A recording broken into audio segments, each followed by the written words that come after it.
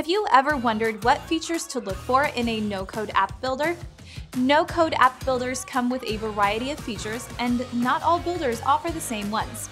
It's important to know which features your business needs to create your mobile app. In this video, from our series on how to create an app without coding, we'll take a look at some of the top features to look for when comparing no-code app builders. I'm Alex from Jotform. Let's get right into it.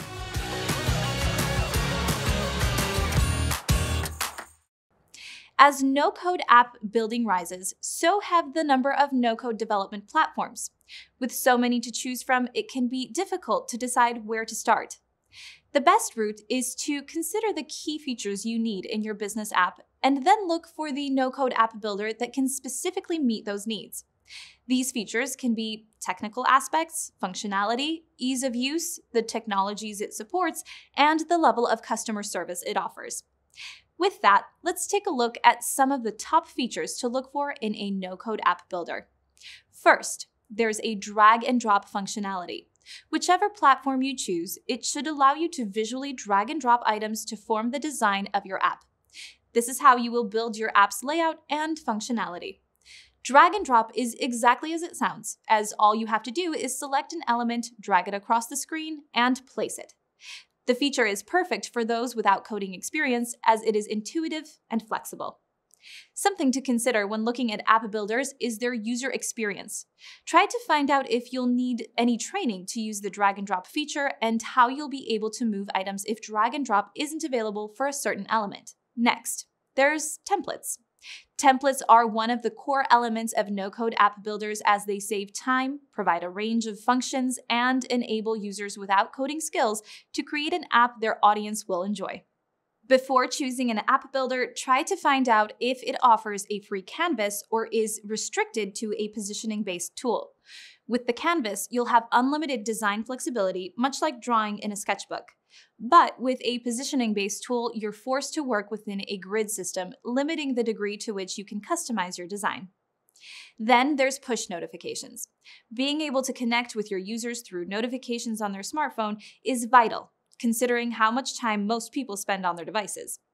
Push notifications allow you to communicate important updates or promotions directly to the user from your app. Confirm whether or not the no code app builder can send push notifications and look into any limitations it might have, like the number of notifications you can send per month. If you think you will need to filter notifications to specific users, look into whether or not your builder will support this. And determine if the builder can offer tracking to show which notifications your users actually read. Next up, we have community support. Community support, such as forums, plugins, marketplaces, and learning academies, is one of the most essential elements in a no code app builder. This is even more important if you're building this app on your own.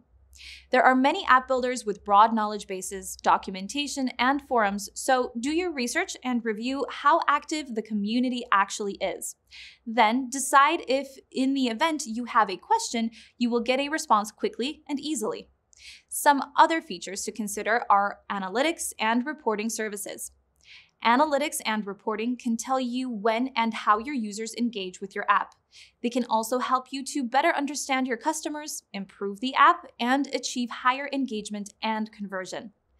Through analytics, your business can implement more effective updates that actually improve the user experience. For instance, if the analytics show that your users rarely read push notifications, but often read updates within the app, you may need to focus on providing key information inside of the app as opposed to sending it all out through notifications. Next, there's scheduling and appointments. For a lot of small and mid sized businesses, apps are an effective way to set up appointments and reservations, saving administrative staff time spent manually scheduling customers. There are several appointment scheduling apps for small businesses that highlight this feature. And you can build apps that offer this functionality in addition to other tasks. Determine if the scheduling feature is customizable to fit your needs.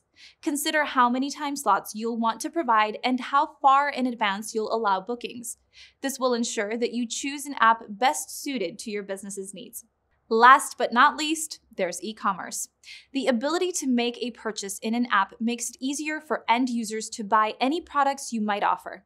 With in app purchases, your customers won't have to go to your website or into your store. This way, your app functions as an additional sales channel by facilitating e commerce, accepting multiple payment methods, and managing tax and shipping costs. Search for e commerce store templates to make it easy to set up your app. Even better, some builders enable you to upload structured data like a spreadsheet to create your shop, preventing the need to individually input prices and item descriptions. Now that we've learned more about the features to look out for in a mobile app builder, let's take a look at how templates can ease the app development process. Stay tuned for the next video in our series to learn more. With all of the great information we've covered today, let's take a moment to briefly review. When looking for the right no code app builder for your business, it's important to consider the types of features that you'll need to create the best mobile app for your audience. Some common features you should keep an eye out for are drag and drop functionality, templates, push notifications, community support, analytics and reporting, scheduling and appointments, and e commerce. Thanks for joining us today. Again, I'm Alex from Jotform, and we hope to see you back here soon.